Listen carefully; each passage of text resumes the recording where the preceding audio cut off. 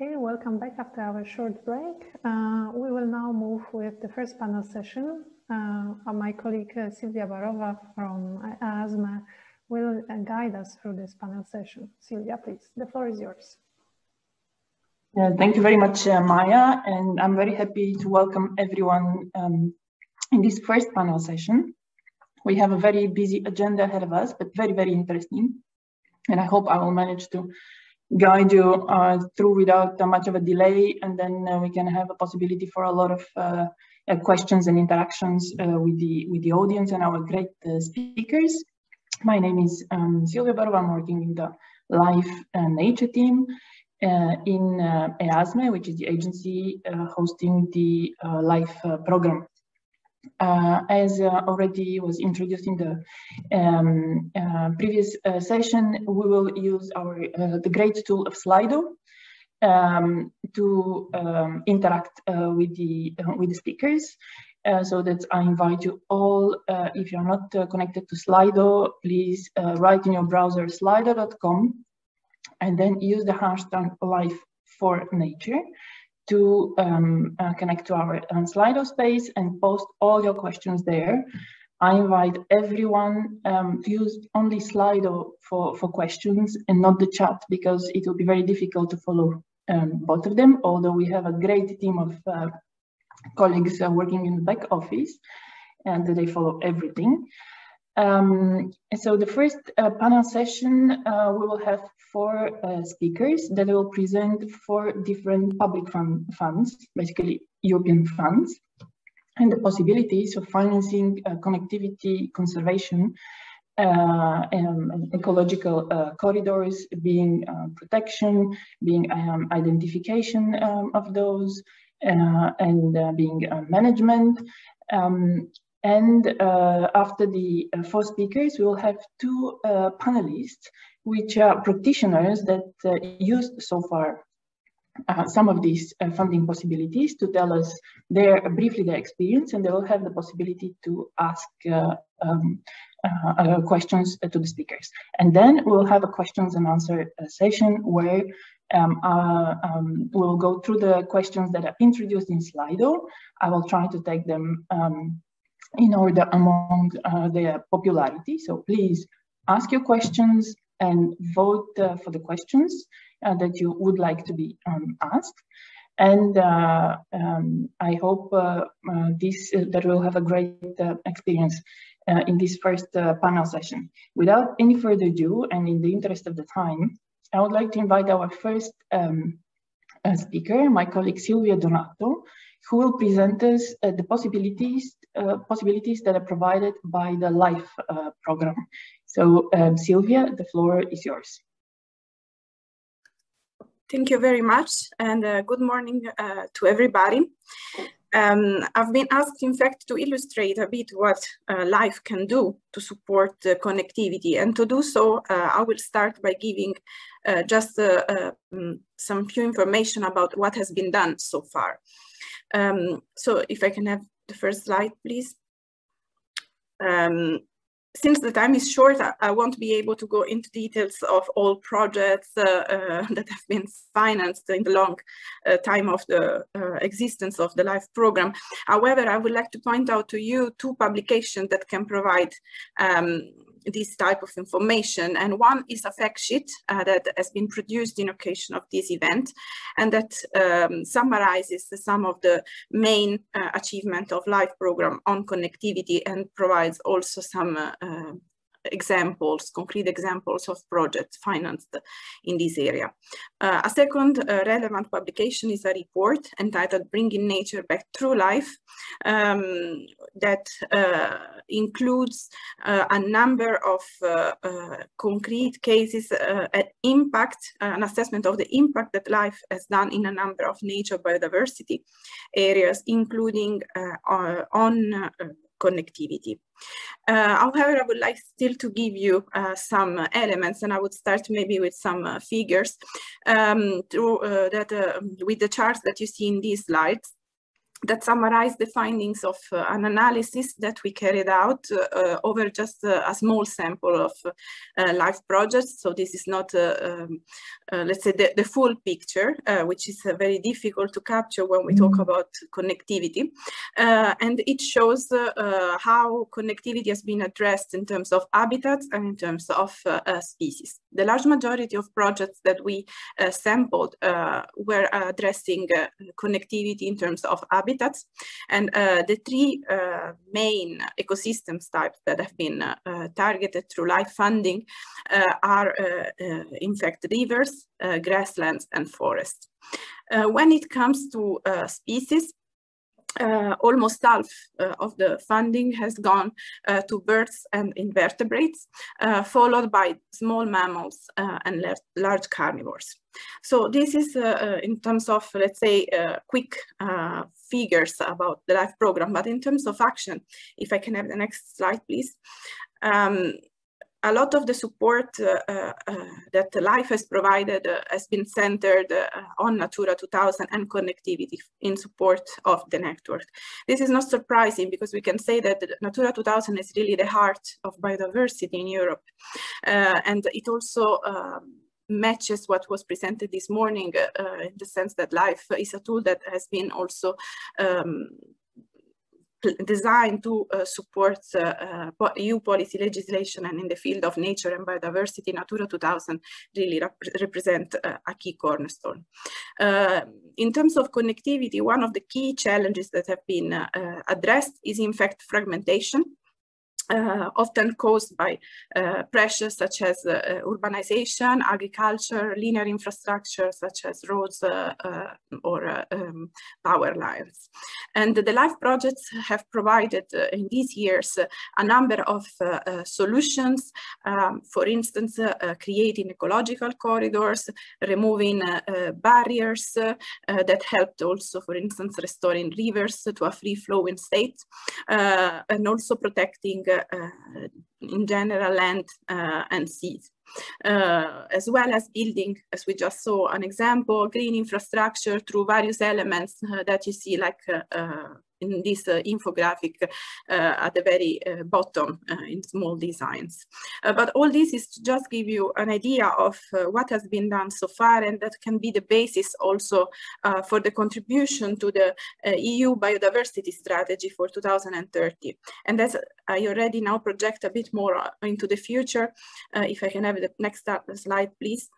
Uh, I will uh, uh, just give you some few information about uh, the new the new program uh, that, as you may know, has increased this budget to uh, five four point billion euros during the whole programming period. LIFE still remains the only EU program that is exclusively dedicated to environment, nature conservation, and climate action. Uh, there's a novelty when it comes to its uh, sub-programs uh, that have become four with the addition of a new one related to clean energy uh, transition.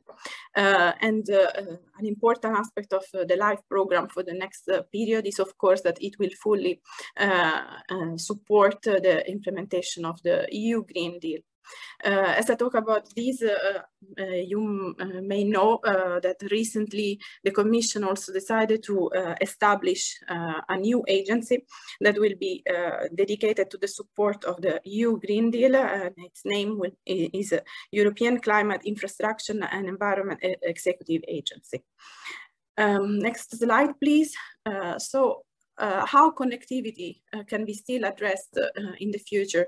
Uh, I think uh, a lot will be similar to what has happened uh, already in the past mm -hmm. with a, a um, clear entry point when it comes to the sub-program on nature biodiversity. Mm. And this building on the existing uh, policy and uh, legislation, uh, starting uh, with the Habitats Birds Directive, and therefore the support, strong support to Natura 2000 network, but also invasive alien species regulation, pollinator strategies, and of course the new biodiversity strategy for 2030.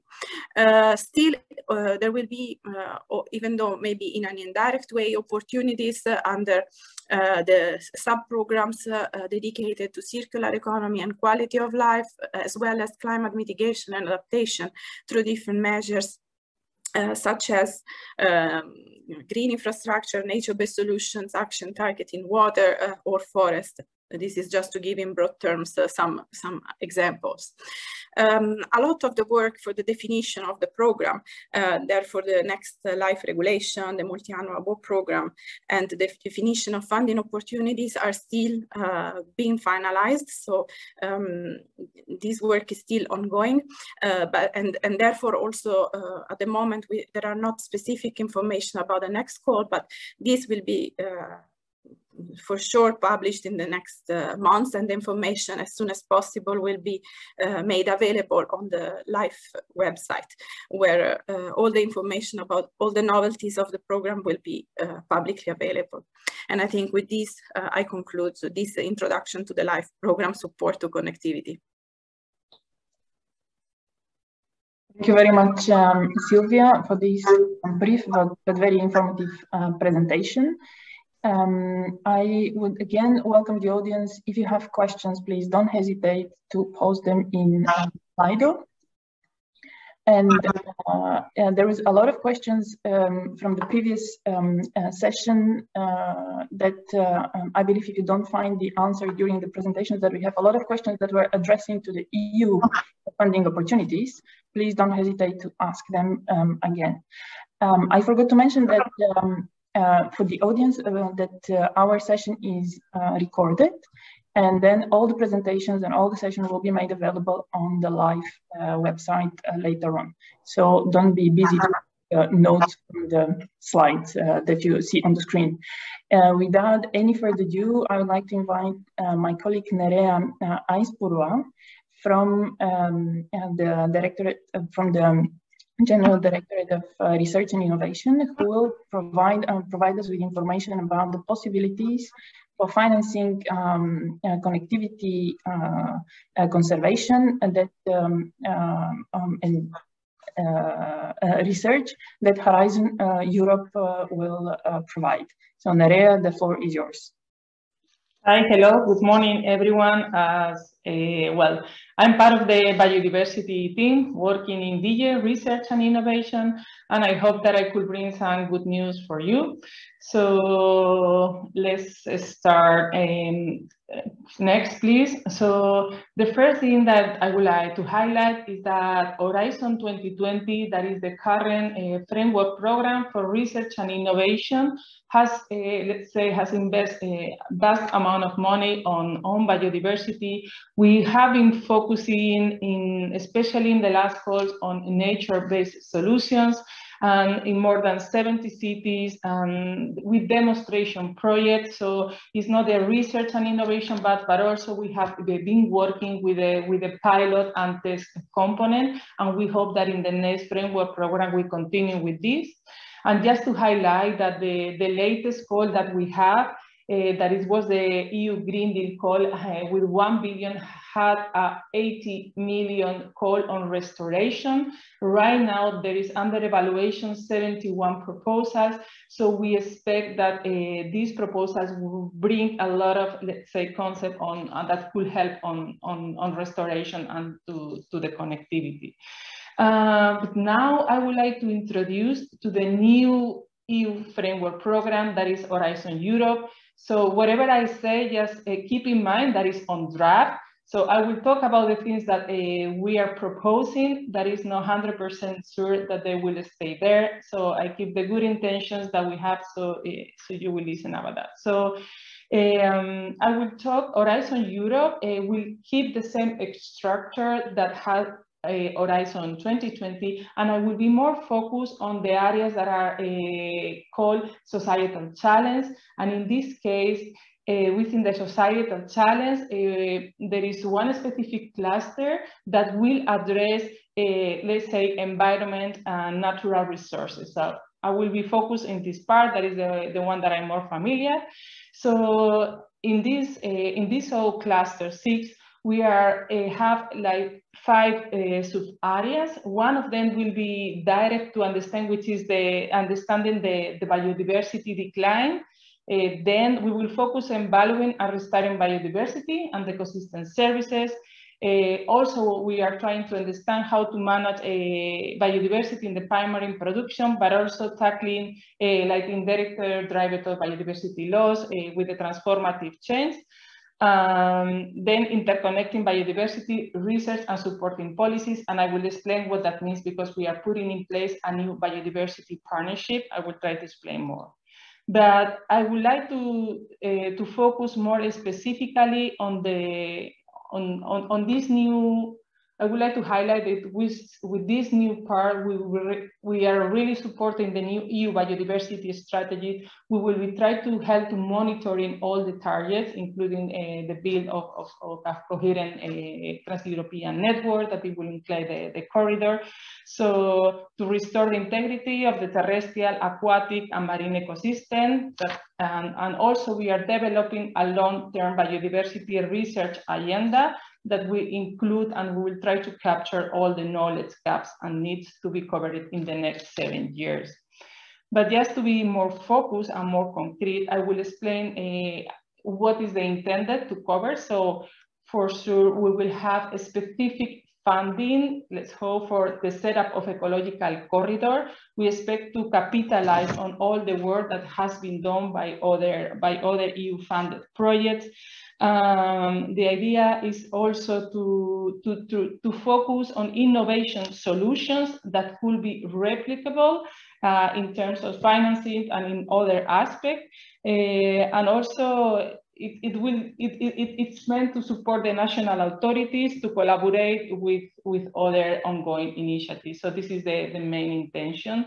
So this is will be one focus areas but also we are uh, working on supporting the current knowledge gap to better understanding the condition of the ecosystem and their services in Europe uh, in, in, in, relation with the condition. So when to define when the, the ecosystem are in good condition or not. So it, it, with the new biodiversity strategy, they were trying to do a framework to do so. We will focus also specific in, in coastal and marine biodiversity, ecosystem services, spatial planning, identification of my uh, protected areas, marine protected areas, we will keep it focusing on, on nature-based solution. Um, uh, we will try to, we are going to put in place what, is, what has been announced by the biodiversity strategy, that is the so-called science service.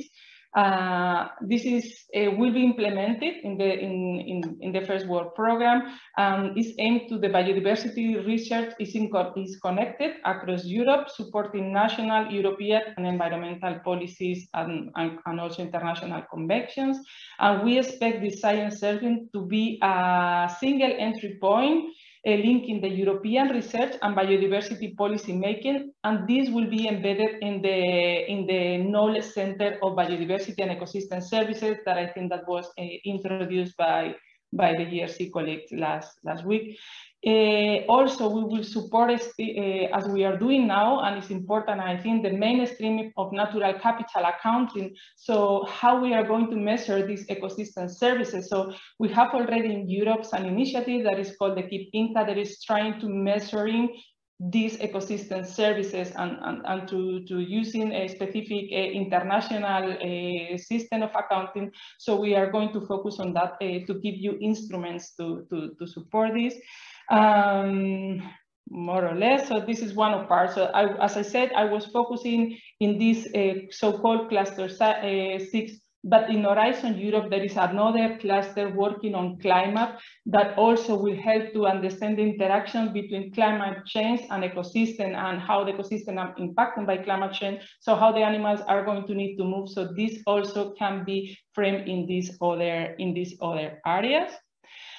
Um, so I have talked uh, one part of Horizon Europe, but Horizon Europe have also in place a new instrument that are the European Partnership. The European Partnership are co-funded uh, actions between member states and, and, the, and the European Commission. And we have put a, the next slide, please. Ah, okay, yes. I, I missed one thing, the mission, but I can came back also, sorry. Um, so uh, the European partnership, as I said, uh, this one that is already in place and the, the strategic research agenda has been published in public consultation. Uh, will have uh, for working areas. One of the working areas will be focused on the knowledge and data needed for to understand which is the biodiversity status, and this will be developed uh, will be developed like joint calls where the member states will decide whether it's need or not. It will have also a second a second part in this working area that is related to monitoring. Uh, it's a big component that will try to harmonize the data, the methodology, will test new methods uh, to do monitoring, new technologies, um, involve the citizens. So it will be an investment of more than 100 millions on monitoring. So this is a, a really big component. Uh, the third working area will be to connecting the research and innovation programs uh, results. So it's a more uh, science policy interface, how the results of the project will support the policy. So this is also relevant. And, and finally, we will support the, the international. At the same time, it will have some overarching objective, but just to, just to highlight that this is the first time that in a partnership, we have a research agency plus environmental minister together working working uh, for the same for the same aim to mention that so far we have uh, 63 partners committed in these partnerships and still we have some some pending partners to, to be confirmed. So we hope that these partnerships, so be aware that this is happening now. Uh, we expect that the whole Horizon Europe will be adopted in mid-May, and the partnership is uh, possibly open the calls in, in, in, in September and October. So, so this is one of the big things. And also in the, it was in the previous slide, Another opportunity coming in Horizon Europe is the so-called missions. So the missions are instruments uh, that try to, to provide clear direction and targeted uh, objective. They are uh, looking for solutions that can be understandable for the citizen. And this also, this uh, project will be experimented in the regions. So it's, it's, it's it will, it, will bring uh, a portfolio of actions that will include research projects, policy measures, even a legislative initiative to, to achieve uh, the goals. So we have uh, five missions, and the mission that I think that could be more relevant for, for, for the corridors could be the adaptation to climate change, including societal transformation. So I'm sure that they are developing, a, they are putting in place a, let's say, part that could, could help to support these, these, these, these corridors. Um, next one, please. Nerea, I would like to ask you to be brief. Well, this is just the end. So I have put in here the link where you will be able to find all the funding and tender opportunities and also the knowledge center that we hope that also helps you to find all these research uh, opportunities and consider that we this will be the center of all what will happen on biodiversity. So sorry, thank you very much. Thank you very much for this very, very um, interesting and uh, very comprehensive um, uh, presentation that uh, Horizon Europe, uh, uh, the, the, possibilities that Horizon Europe will, will provide. Um, I'm sure that there will be a lot of um, questions um, on that as well. So please, uh, the audience, don't hesitate to ask questions. If our speakers didn't manage to explain what you're interested in and provide enough information, uh, and uh, I would like to um, invite uh, our next speaker, uh, my colleague Antonia Lüteken from Directorate General from Agriculture, uh, who is going to uh, present us what are the funding opportunities within, within the upcoming reform of the Common Agricultural Policy to support the connectivity um, conservation in the agricultural context. Uh, there is a lot of uh, questions in the previous session about the possibilities under the um, common agricultural policies. So um, I'm sure that uh, this um, presentation will be um, um, answering to many of the questions, but if you still have questions, uh, please don't hesitate to introduce them in uh, Slido. Antonia, the floor is yours. Yeah, thank you very much, Sylvia, uh, and thank you for inviting me to this uh, to this very interesting event. Indeed, uh, my name is Antonia Lüteken. I'm working in DG Agri, uh, and the unit conception for rural development. I will have the big uh, challenge to get to run you through, and now I have to see how why doesn't yeah sorry the next slide doesn't that doesn't work. Uh, to uh, to run you quickly through the reform of the CAP which is currently under this discussion as you may have uh, well as you all are well aware because uh, you are very much linked to also the agriculture sector.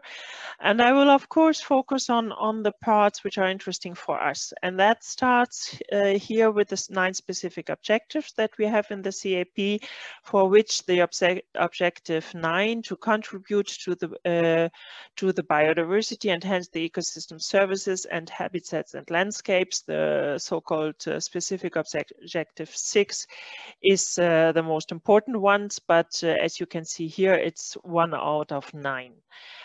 Um, what we have in the new CAP is the new green architecture, which is really built in, and I think this picture very much illustrates that, is, is uh, built up from different building blocks. It has um, uh, enhanced conditionality. I will come back to those elements later on. It has then the, the so-called pillar one, the direct payments with the eco schemes, which have already been uh, mentioned also by my colleague uh, beforehand, and uh, the classical rural development measures, which we know already now, uh, which I have not only the agri-environmental measures, but also knowledge transfer, uh, innovation cooperation, etc. Um, this time in the new green architecture, the, for the next uh, uh, years to come, the member states will set up plans using both pillars together in one plan. So that already will be a big change because uh, the, all the parts of the agricultural policy will be in one plan based on one SWOT analysis and based, based on a needs assessment. Um, with the possibility of the selection of tools from a flexible toolbox and uh, with the need to set targets and uh, the achievements being monitored. Um, very important in this uh, context is that the consultation with national stakeholders is really um, something that uh, we very much focus on. We have done that already in the past for the part on rural development, but uh, that was not as much fixed in the regulation for the first pillar. So this time, as it is all in one plan, this is really a chance also to have a say on on the on on the first pillar on direct payments. And I've seen one uh, uh question already going in that direction. Uh, the plans are then approved by the Commission as uh, the usual procedures. What is in the nutshell important aspects for nature and biodiversity? First of all, there is of course the, the no backsliding principle. We have in the second pillar in rural development already the 30% per member states to be devoted for environment and climate purposes. And this is also to take one question up from, from, from Slido. These percentages and these what we call ring fencing is always figures per member state. So it's not that one member state can, can be happy that uh, the other one is doing more, Uh, but these figures are clearly per member state, per plan.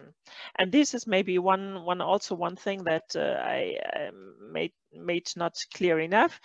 Uh, in the current situation, in the current programming period, we have for rural development, we have in, in some member state the regionalized plans. So in the case of Spain, where we had the project before, we had regionalized uh, rural development programs. Now, this time, we will have one CAP plan per member state that is indeed for some member states which, which are very big and which have uh, regionalized structures a little challenging, but it allows also to have uh, more synergies and to have uh, to have simpler project uh, plans. This is at least what we hope. There is in the CAP in the future a list of legislations concerned by uh, of the CAP uh, plan regulations. So these list is listening environmental and, uh, and climate regulations to which the CAP plans should contrib contribute. So there is a far bigger link between the CAP and the other environmental and climate legislation.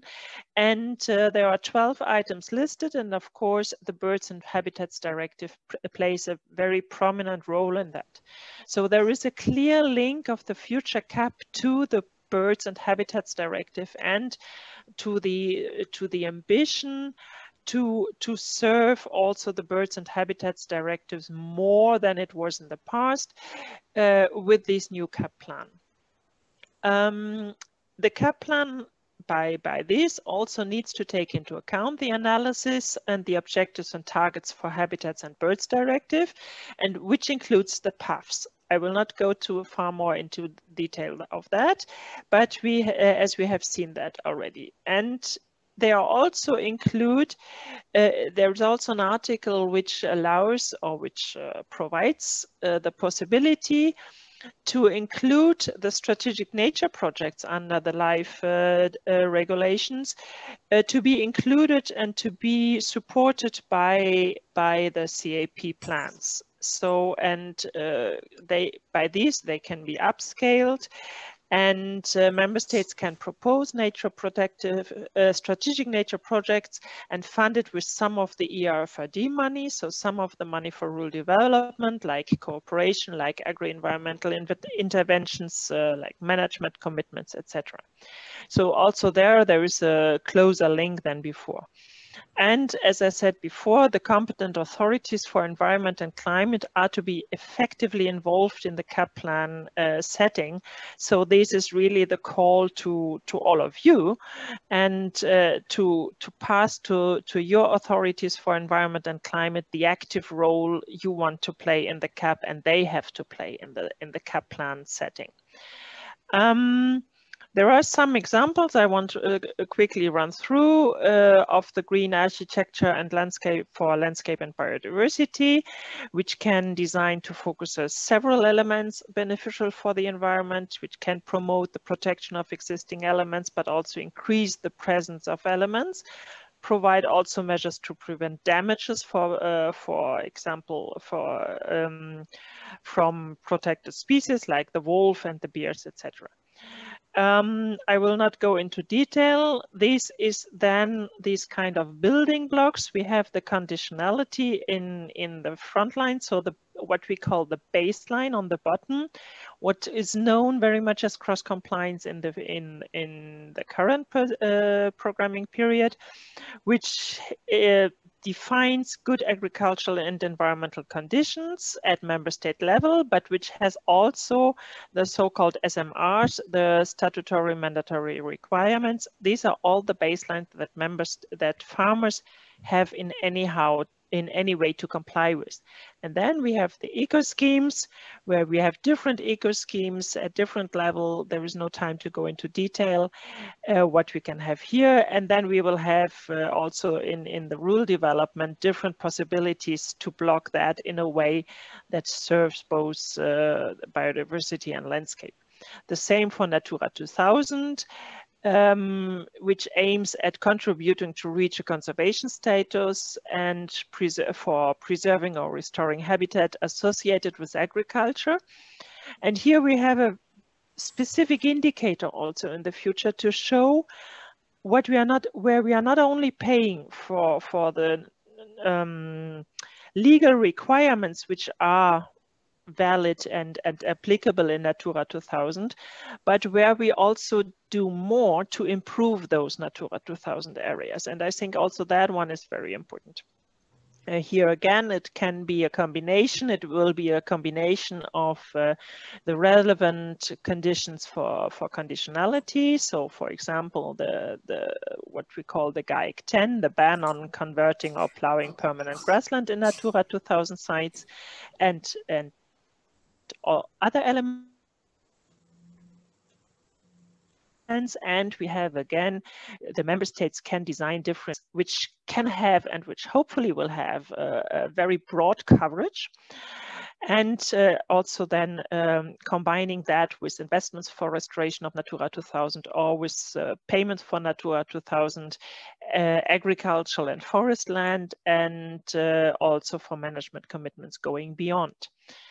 Antonia, um, I would yes, you. this is uh, then the, the, the links. I think they are also put in the chat. Thank you very much. Thank you very much, um, Antonia, for this um, very informative um, uh, presentations. Uh, presentation. Um, I would like now to invite uh, our last speaker for this uh, panel session, uh, Maud Skardingen from um, Director General for Regional Development, uh, who will present us what are the funding opportunities under the European Regional Development Fund and especially the Interreg um, program. And so Maud, the floor is yours. Thank you. Thank you very much uh, for inviting me. I, I, will also try to take you through quite a lot of information in a couple of minutes, but uh, don't worry. I mean, you will get the slides afterwards, as has been mentioned, so you can take a closer look. But if we go to the first slide, so I am, uh, yeah, the next slide. I am going to talk about uh, the EU uh, cohesion policy in the next, in the upcoming uh, period. Uh, this is an important share of the EU budget, uh, around one third, and we are talking about four funds here. You see them here, the European Regional Development Fund, the, the Social Fund plus the Cohesion Fund, and the new Just Transition Fund with the overall aims, let's say, to reduce disparities between Europe's regions and to strengthen economic, social and territorial cohesion and contribute to EU priorities. Uh, so importantly, of course, the, the European uh, Green Deal. Uh, and uh, the bulk of the funding is concentrated uh, on the less developed uh, regions. This is still a preliminary map uh, that that is here, but it's just to show you a bit uh, uh, where where the main parts of the funding are going to the darker areas. And and this funding is uh, happening uh, in what we call shared management uh, with the member states. So we have a set of national and regional programs managed in the member states, and I will explain a little bit more later. And uh, they are this funding is working on five different uh, policy objectives. You see them here. It's it's a it's a wide uh, range uh, of different type uh, types of uh, actions, let's say, and and we will focus here now on on number two, the a greener, low carbon. Um, transitioning towards a net zero carbon economy and resilient Europe, a nice long name here. Uh, but it's also, as you see, focus on non-research, innovation, SMEs, uh, transport, uh, employment, social issues, etc. And for Interreg specifically, there are also objectives related to, to better cooperation governance and a safer and more secure Europe. Um, so, so the way that it, that it's the policy is working so broadly makes it, of course, uh, an, an, integrated uh, and holistic uh, policy, let's say, which, which can be important for many of the, the European Green Deal uh, objectives. Uh, and we expect a formal adoption of the regulatory framework uh, in a couple of uh, months. Uh, so, but the preparations are, are ongoing for the next period. Uh, the next slide, please. will show a little bit more. So, so we have two goals, let's say, of the policy investment for jobs and growth with all the four funds and the European Territorial Cooperation, which is more known as Interreg, which is the European Regional Development Fund uh, uh, support. And uh, just to mention first that the bulk of the funding uh, is to the first uh, investment for jobs and growth, uh, where, there, where there is also linked to the prioritized action framework uh, that has been uh, presented earlier this morning in the form of a kind of conditionality or an enabling condition, as we call it. Uh, uh and also under these uh, investment for jobs and growth, uh, national and regional programs where you have most of the, the funding, let's say, the, you should know that there are also increased opportunities for cooperation in the, in the new period from also from these national and regional programs.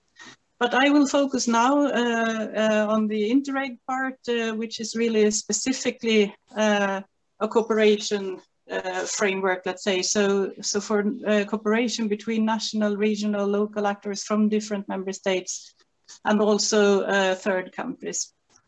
And we are working with programs at different geographical levels. So we have uh, a strand for cross-border cooperation. So, so you have a cooperation between adjacent uh, board regions really directly on the border uh, from different member states uh, or also at external borders. Uh, we have a transnational strand where you have uh, a larger geographic area, uh, which is more suited, suited for certain types of cooperation and investments and then a strand for cooperation between regions from, from any member states, basically. Uh, you, you might uh, have heard about these programs as well, for example, Interreg Europe, and then a new strand for outermost regions.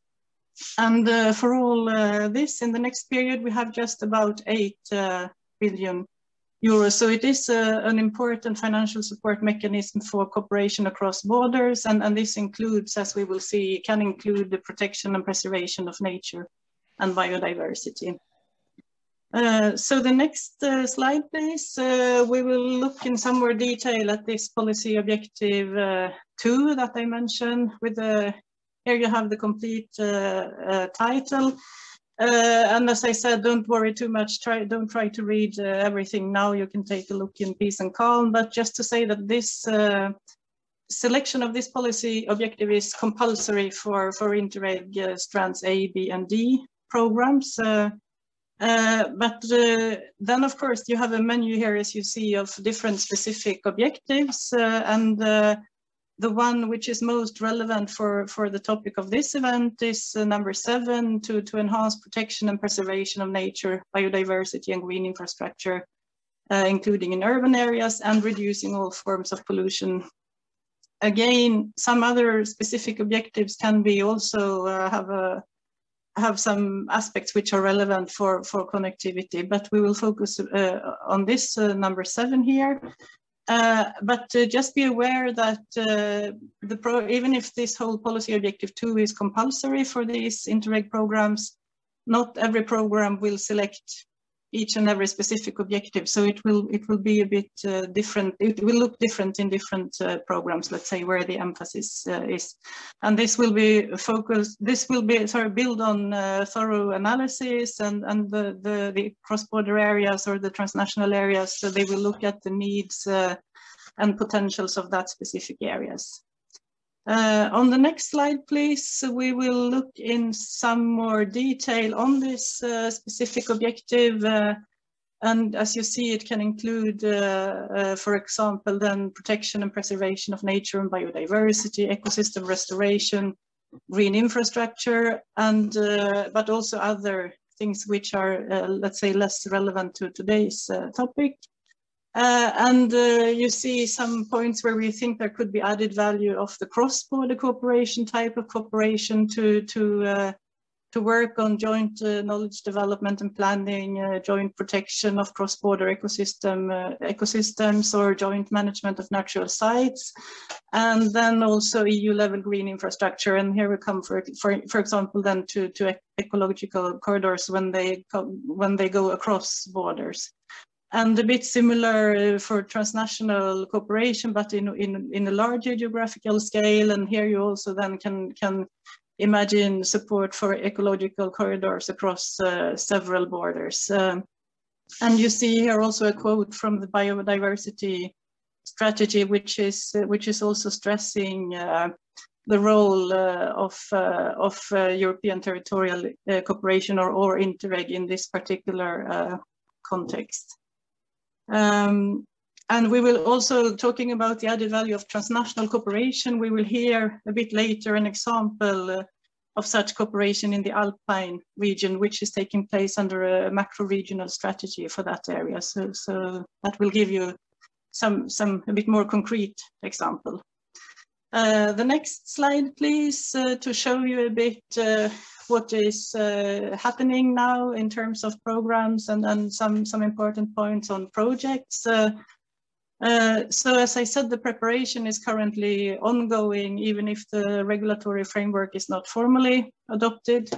And what is important to stress here is the, that we emphasize very much partnership uh, principle, uh, and, and uh, I think it links a bit also, I mean, we, heard in the poll in the first day plenary session on cross-border challenges, etc. I think on top uh, came the point to have both landowners and all kinds of stakeholders uh, involved. It's it's very important, of course, uh, in this area, and uh, we are really wanting in the whole uh, programming and implementation to have all uh, concerned or affected involved in various ways many different partners. So it's just an invitation also to many of you, I think, who are active in this area to see in your specific uh, geographical area uh, what is going on in terms of uh, public consultations, etc., to, to, to, to collect uh, input for the new set of programs.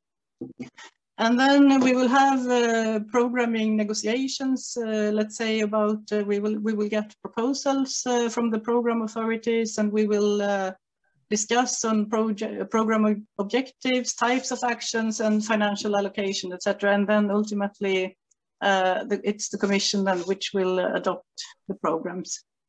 and for the projects themselves, uh, they, they will need, of course, to involve a part, at least two partners from, from, from two different uh, countries, uh, and they need to fit in with the thematic scope uh, of the program, which will then look a, a, bit different, as I have explained, and of course contribute to the results uh, that the program is seeking to achieve. It's usually relatively small projects compared, compared to what we see under the, the national or regional, what we call mainstream uh, ERDF uh, program uh, projects. Uh, and uh, we are keen to also focus on new solutions, uh, etc. And, and just note also that many rules are program specific, including some eligibility rules and it's the the managing authorities in the regions which manage the programs, launch calls, etc. And and it's the pro each each program has a monitoring committee who decides uh, on the funding. And I, as you all know, I think since since you have already worked uh, in, in LIFE projects, etc., it's it's a bit of extra effort uh, probably in, in, in a lot of cooperation uh, projects.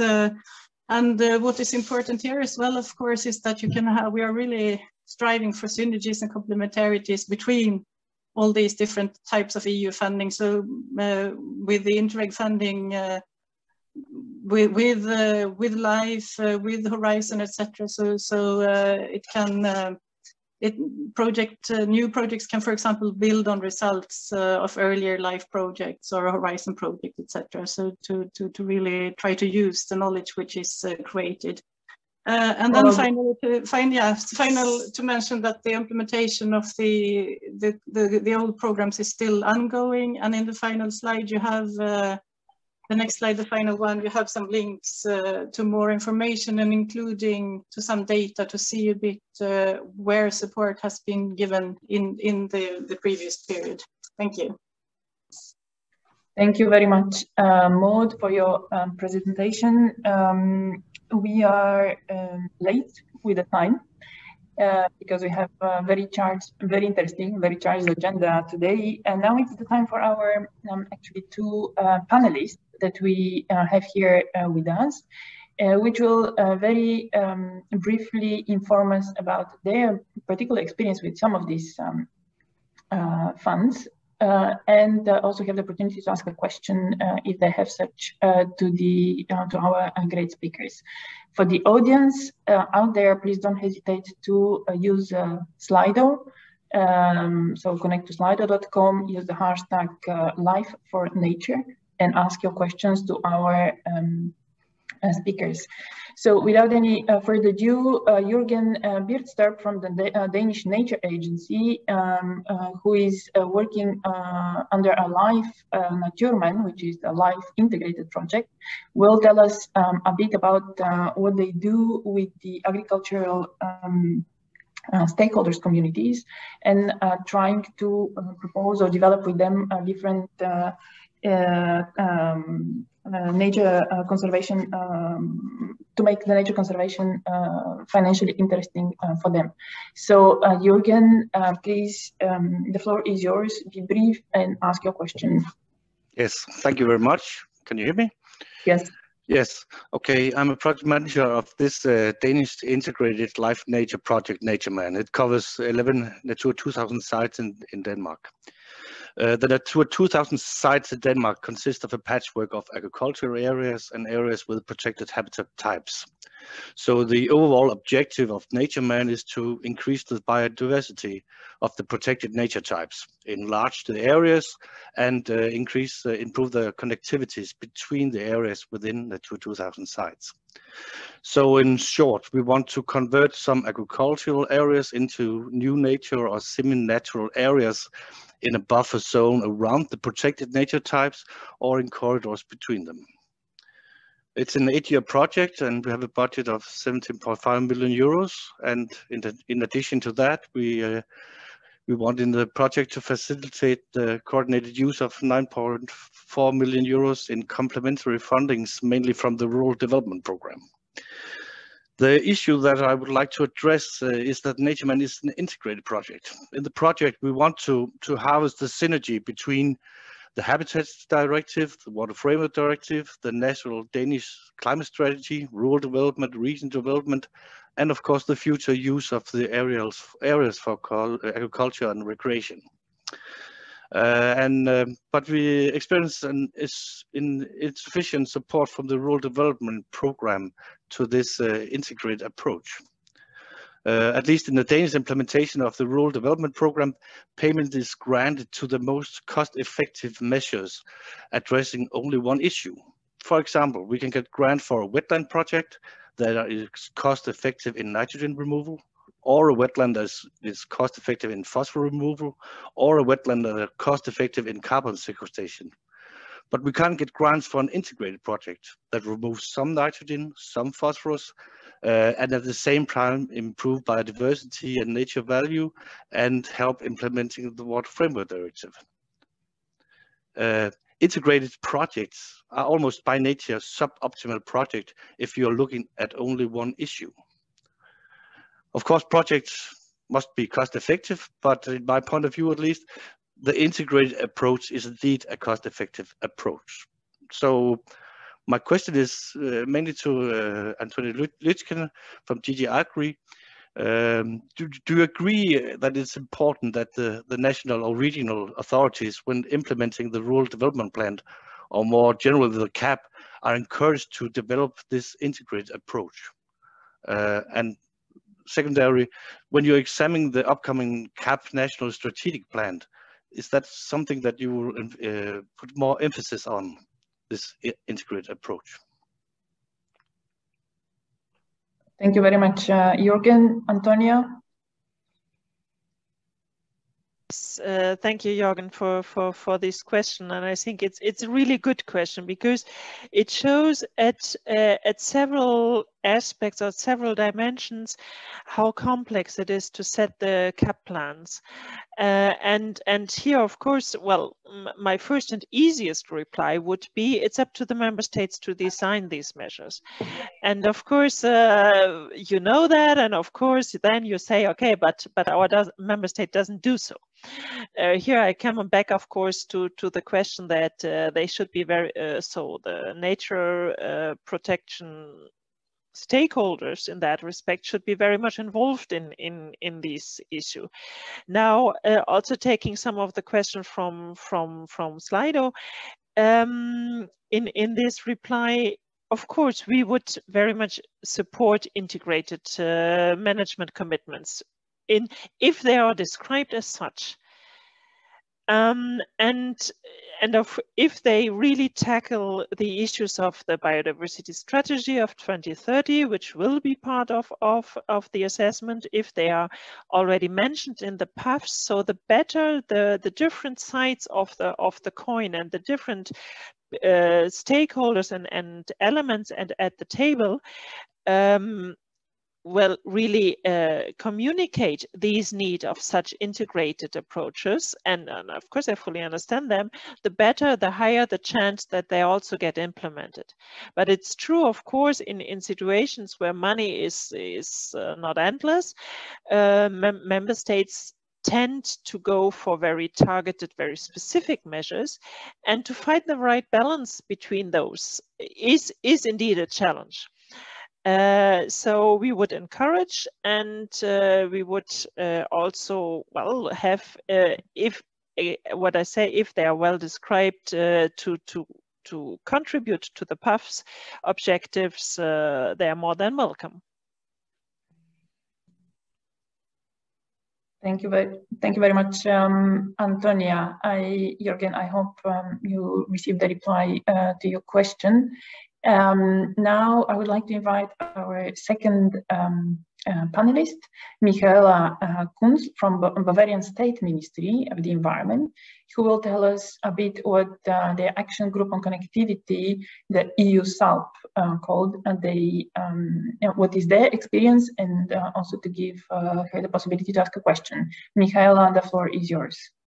Yes, thank you very much. Um, good morning to all of you and thanks for the invitation um, and the opportunity to briefly pitch what's going on on macro regional level in the Alpine region where we are coordinating together with Slovenia an action group which is dealing with uh, green infrastructure in the Alpine region and this is an action group of Alpine states and regions but also involves NGOs, scientific partners, and um, related projects. So we follow a transnational approach and also a rather strategic one for the Alpine region. And so since five years, we are working and could in, in a first step launch a political declaration of Alpine states and regions. And since then, we are happy that we could mobilize funding for different implementation projects under different programs. And mainly um, we could uh, build on the Interreg um, programs, cross-border, but also transnational um, for, and let's say mainly covering aspects like communication, analysis, coordination, capacity building, all these things. And what we are now in our, let's say, second implementation phase would go um, more in that direction of concrete implementation on the ground. So we are wondering how could we um, uh, enlarge our toolbox, our good mixture of funding opportunities towards this direction. And we are on the one hand thinking about the mainstream ERDF, but also, of course, we are thinking about LIFE and um, specifically for one topic where we are at the moment thanks to European Parliament budget developing an alpine peatland roadmap together with local stakeholders. So what should be done in alpine peatland protection, also with regard to climate change. And um, that would also lead us to our question or what we are considering is, um, would LIFE be, uh, for example, a SNAP, an appropriate funding opportunity under such a transnational approach and if we talk about a joint approach from Slovenia to France or would you rather recommend us something else and uh, we are looking for any feedback and looking also forward to stay in touch with all of you. Thanks a lot.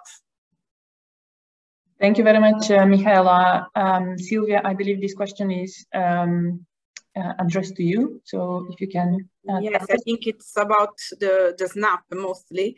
Um, and uh, I mean, in principle, uh, I think it could be possible uh, to finance these type of uh, ideas.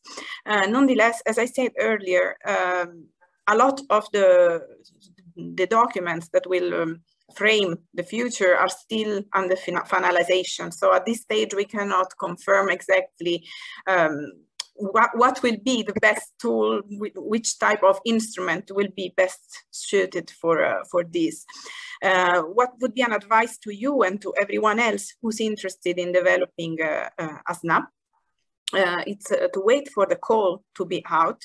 Uh, there will be in the call also an indication of, uh, let's call it a, an uh, IP help desk. I think this uh, existed already, where you can submit your ideas and get an advice of whether it would fit or not.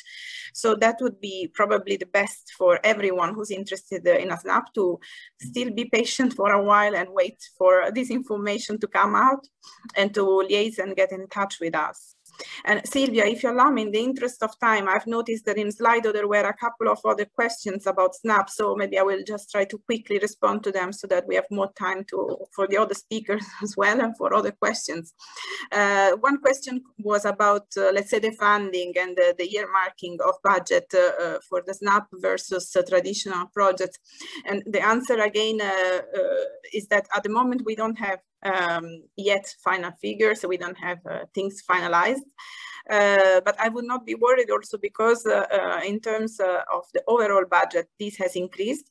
So I, I assumed and hope there will be opportunities for all type of instruments to be adequately funded. So if the question was about a fear of decreasing the budget for traditional, I think this will not be uh, a main problem.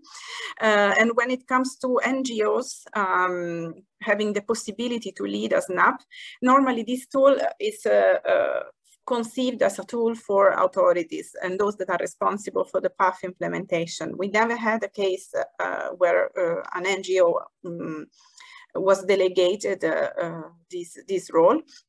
Uh, so uh, in principle, I, I, would say that uh, the, the, responsibility to lead such type of, uh, of projects uh, remains in the hands of the authorities that are responsible for the PAF implementation. And I think with these were the questions on SNAPs that I spotted.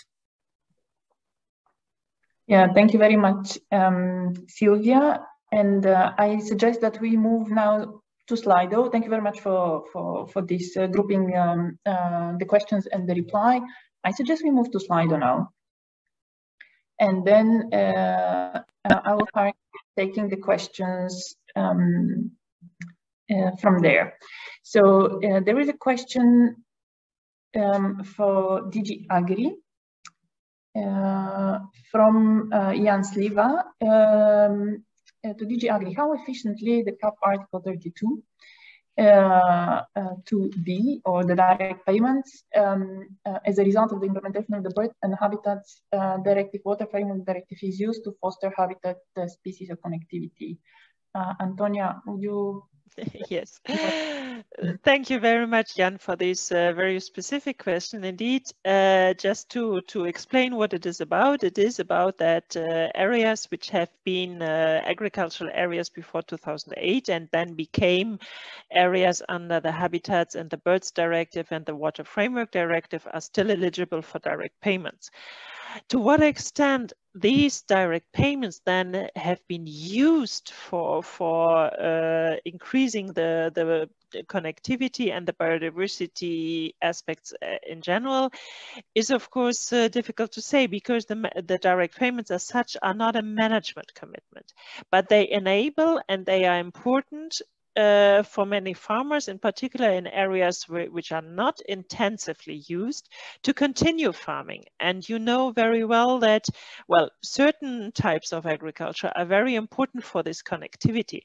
So it very much depends on what type of agriculture is, is practiced there.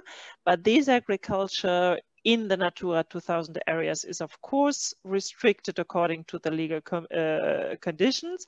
So hence we can say that direct payments at least uh, helped that agricultural uh, activities continue in that and, and continue hopefully under the restrictions of Natura 2000, etc to serve also the connectivity, but they are not a targeted tools. The, so the targeted tools to improve connectivity, etc., that would be all the other measures uh, which we have in the current uh, pillar two and which we will have in the future. Thank you. Thank you, um, Antonia. There is another question um, uh, to you, uh, which is uh, how you will ensure that these uh, funds, so the CAP, um, um, funding possibilities uh, are um, uh, for biodiversity are released, whether uh, there will be um, possibility for other stakeholders than farmers to apply for, for these funds. Yeah, thank you very much, uh, Maria Jose, for the for Maria Jose, sorry, for this question. Um, indeed, well, um, I think there was a little error in the presentation which we had earlier. So it's uh, true that for, for parts of the payments that are in future more targeted to environment and climate, parts of those are really for the farmer specifically.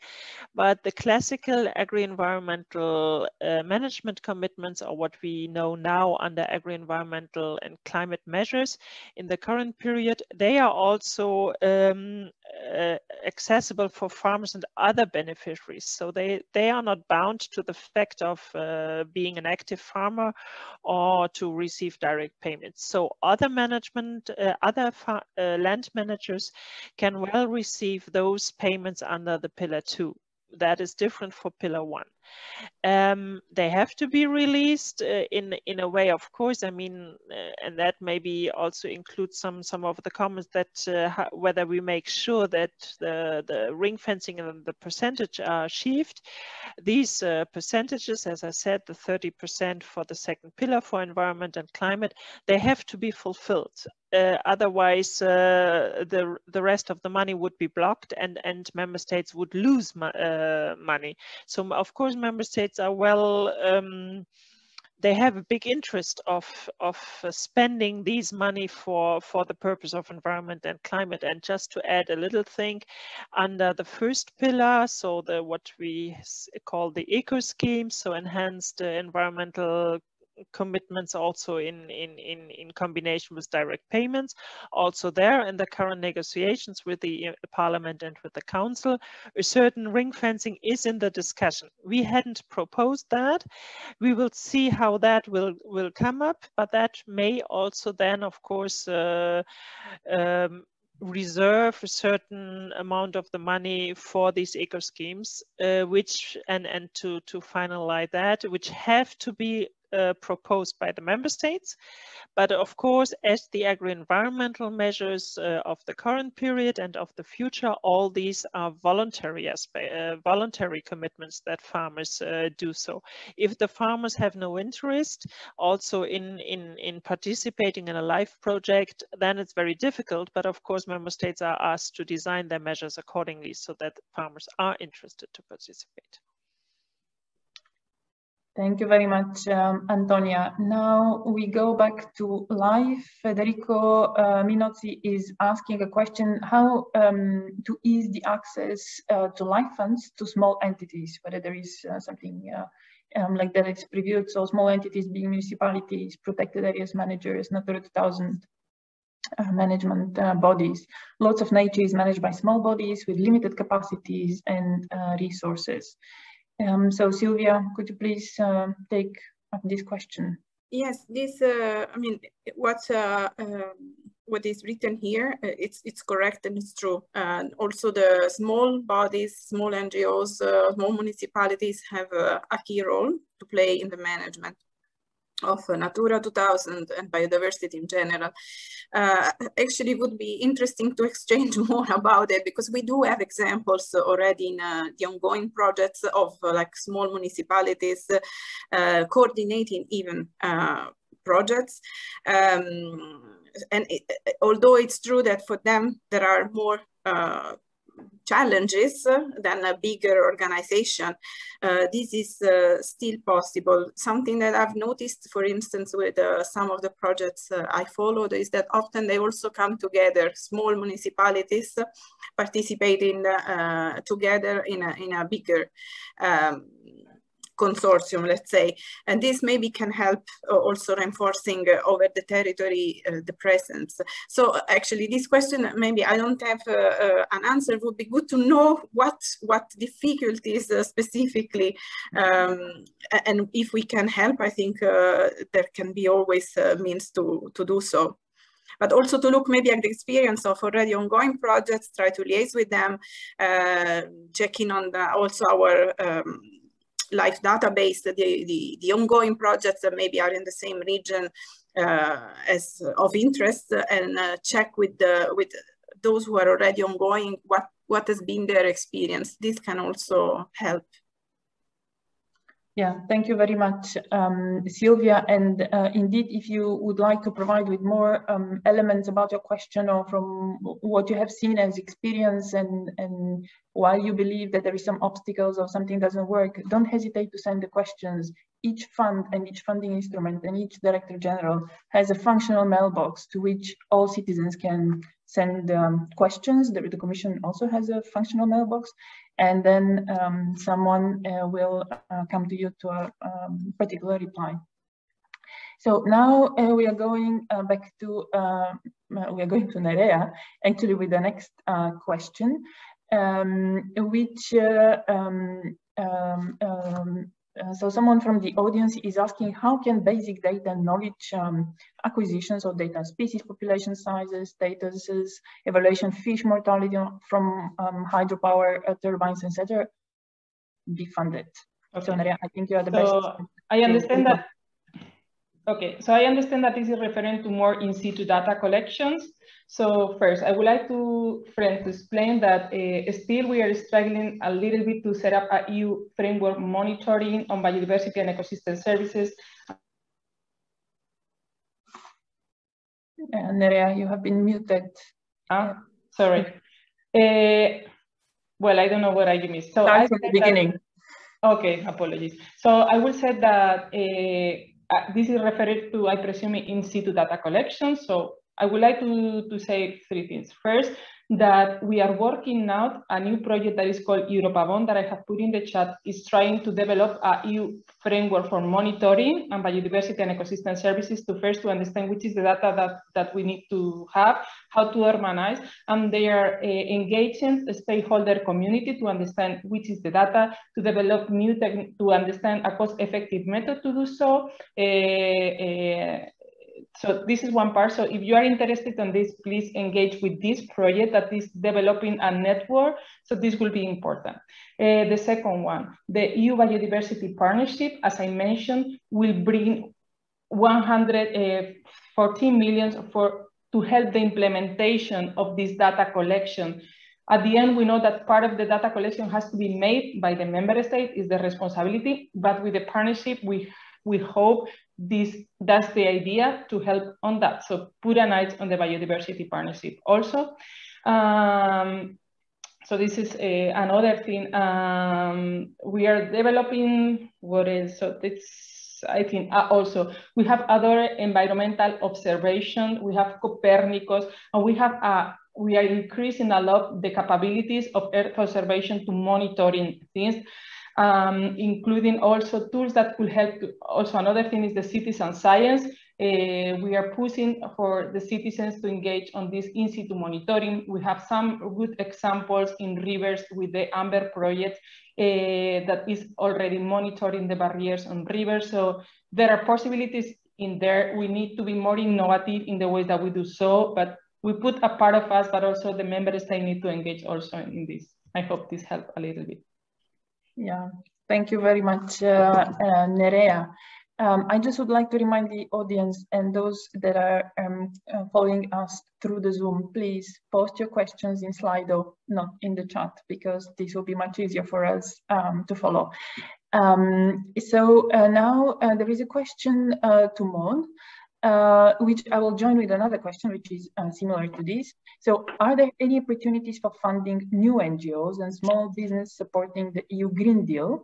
And then there is another question also related to the NGO, so I will just uh, ask you to reply, invite you to reply to, to two of them, which is uh, whether there are any funding opportunities for NGOs with less than two years of uh, activity. Uh, Maud? Yeah, thank you. So as I mentioned earlier, it's really, I mean, the support is tailored uh, to the needs and potential of the member states and, and regions and the different areas. So what is uh, supported specifically, let's say, it's really program specific. So, so that there is always a need to check a bit uh, in your let's say location what what is what can be supported from from this funding uh, etc but that being said of course i, I would expect uh, to see uh, uh, support for, for small businesses, uh, growth, competitiveness and job creation in small businesses, uh, an important priority in, probably in many programs. And, and of course the European Green Deal uh, objectives are a general priority. So I would expect uh, such opportunities for funding to, to appear in, in many programs, both the national and regional, let's say, mainstream ERDF programs and, and probably also in, in, in a number of Interreg uh, programs. Uh, concerning NGOs and, and also if they are uh, new or relatively new, what, what, uh, what might be relevant? I mean, again, it's program specific, but what there is to be mentioned here, maybe there, there is uh, enhanced focus on capacity building and there is a new possibility uh, to have improved capacity of sectorial and territorial actors responsible for carrying out uh, different types of activities related to the implementation of the funding uh, when it contributes to the objectives of the program. So if you if a program is working, for example, on this specific objective related to, to biodiversity and nature, which I presented earlier, there, there, there is also possibilities for uh, related support, let's say, for capacity building for, for different types of actors uh, important for the realization of those priorities. So there could uh, potentially be some opportunities for, for uh, NGO support uh, in that context, for example, but again, to be seen in the specific uh, programs. Thank you. Okay, um, thank you very much. I think, um, so the next question is not targeted to anyone, um, which is about uh, clean energy transition. So is there coordinated work in the European Commission between grey infrastructure, like for example, the energy corridors and green ones? Um, uh, I don't know to whom exactly this question is targeted to, uh, Maud, would you like to say something? Otherwise, I might provide a bit, according to my knowledge, um, a bit of an answer, especially for, for energy corridors. Yeah, um, on my side, maybe maybe to refer again to the, the transnational cooperation and the macro-regional strategies, which might look at this, but but you you may have a more broader reply. Thank you.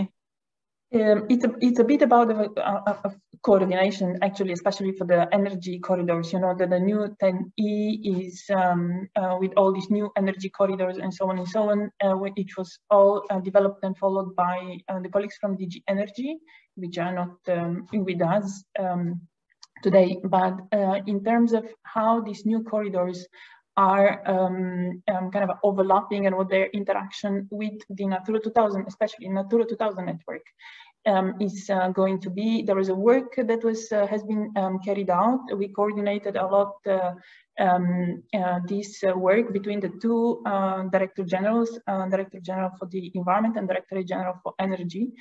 Um, and uh, we developed uh, especially um, uh, guidance, which is about energy transmission facilities and Natura 2000 and the requirements that are coming from the Birds and Habitats Directive for new developments, in which we also looked at um, about the refurbishment, refurbishment, and renewal of the new, um, I mean, existing installations and development of a new installation.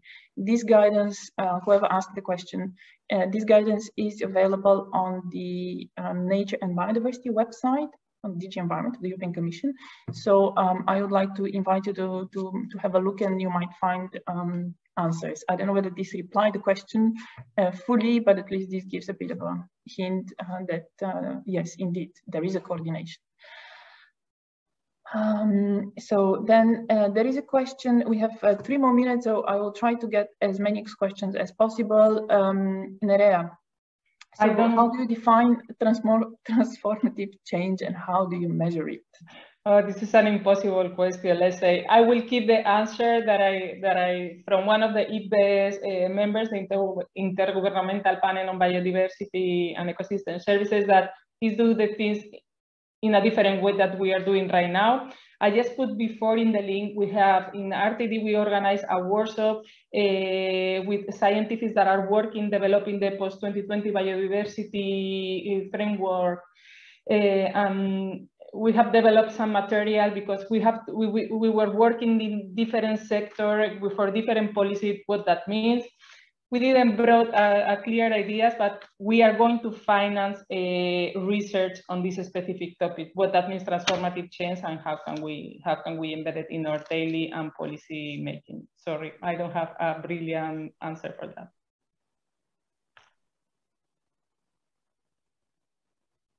Uh, okay, so the next question is uh, for Maud um, from uh, Federico Minozzi, uh, how to balance the willingness to promote innovation versus the need to support existing good practices. Will Interreg fund uh, practical fund practical conservation measures? Uh, thank you. So maybe I start with the second question. So, so, as you saw in the presentation, the Interreg funds are relatively, let's say, limited, relatively smaller. So uh, there is not always a scope for, let's say, large uh, investment, uh, but but we the programs uh, can and do fund also also I mean investment uh, and can fund also conservation measures as I mentioned. So again, it will depend on the analysis of that particular program area. And it's a bit uh, on on the balance versus innovation and and uh, what is deployment let's say of existing good uh, solution. It's again to be seen uh, we are we are promoting both i mean for the ERDF in in general and for Interreg uh, there is also this policy objective one which is really focusing on on innovation uh, so again, it's to be seen, I think, uh, uh, in the analysis area by area, where to, how to find the right uh, balance, let's say, for the use of the funding uh, also in this particular area. Thank you. Okay, thank you very much, um, Maud, for this um, reply.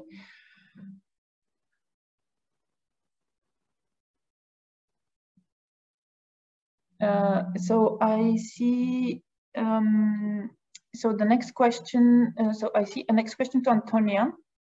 Will it be possible to use CAP funding for pilot RBPS implemented through a LIFE SNAPS, for example? Yeah, thank you very much for this uh, very practical question. And of course, uh, in theory, so we, from our side, it would be possible. Uh, now, again, it, as I said, it depends uh, on the member states to include these aspects in their CAP plans. So again, here I would very much encourage the, the stakeholders involved to, to, to request that from the uh, agricultural ministry and from the environmental ministry to, because water, and in particular, I think this question is coming from Spain again. So uh, in, in particular in Spain, uh, water issues are really important in the CAP plan. And let me just say, to in this uh, context also that uh, which I what I haven't mentioned, but the link is in the presentation and will be distributed that the Commission has on December issued recommendations to every member state uh, regarding the future CAP plans and the green deals. And uh, uh, the biodiversity and the, the PAFs have played a major role in these recommendations. So I highly invite you, uh, it's the third link in the presentation, uh, to look at the recommendations we have given to the specific member state. Thanks. Okay, um, thank you very much. Um, I think uh, with this, uh, we can close this uh, first panel where we explored the various possibilities given by four uh, EU funds, public funds, uh, I would like to thank very much to our great speakers, uh, to, so to Silvia, to Nerea, Antonia, and Maud. I would like to take uh, to thank a lot also to Jürgen and Michaela, uh, also um, providing their uh, presenting us uh, their pitches. I would like to thank to all the audience and for all the questions. And now we have time for short coffee break.